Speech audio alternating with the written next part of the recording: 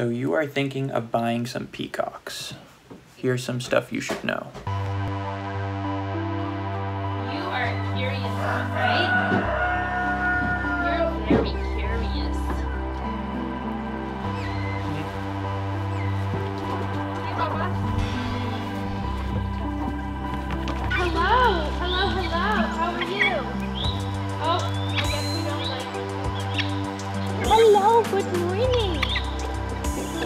Hungry?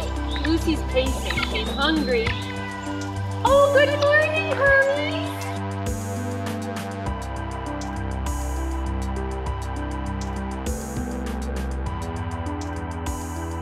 So these are the pros of owning peacocks.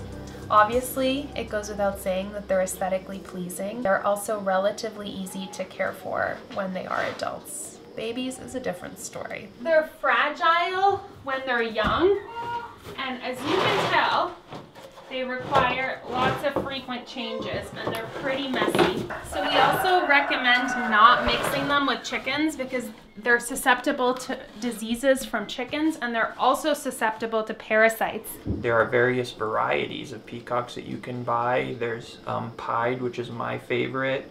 They have white ones, they have black shoulder. India blue is the most common one you'll find. They're also relatively cheap to maintain. We actually feed ours uh, flock raiser and we supplement the flock raiser with cat food, which is very rich in protein, where the protein helps them to maintain their plumage. Peafowl are very weather hardy as well, so if you're in a snowy region, you don't have to worry as long as you don't buy the Java green variety, which are more tropical and therefore less weather hardy. All you really need for them is a shelter to get out of the rain, although you'll probably find that they enjoy spending time in the rain more. Another pro, which comes in particularly handy for me, who is completely phobic of snakes, is that they eat snakes. And I've actually heard that in India, they use them in some areas to keep the cobras away. If you do have free-ranging peafowl, you're going to want to be careful during mating season because the males will often attack their reflection in your car and leave your car scratched up. Are waiting for the females to come outside to mate. They're waiting. Peacocks will get their full train around three years of age, and they are definitely a long-term commitment as they can live up to 25 years. They're also incredibly curious and funny animals. They have quite the personality, and especially if you get to know them, they become very unique in their characteristics. Good job. Hop in.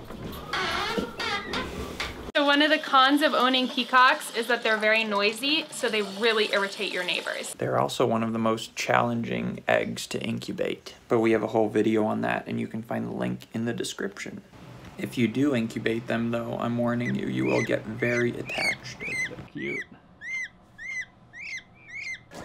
We're moving little Buttons. He was too young. They were picking on him.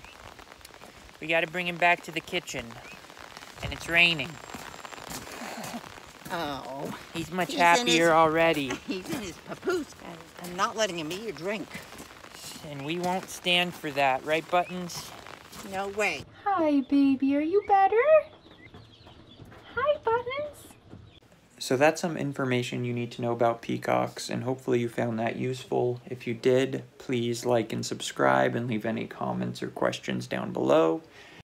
Overall, they are incredible birds, and we cannot recommend them enough.